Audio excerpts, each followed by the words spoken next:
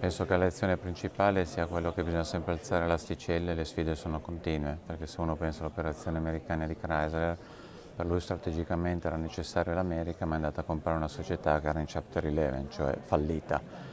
Quindi nonostante questo non so quanti avrebbero con la necessità strategica degli Stati Uniti affrontato un capitolo di questo genere con un'azienda in fallimento. Essendo necessario l'ha fatto, quindi la dimostrazione, il, il vero messaggio è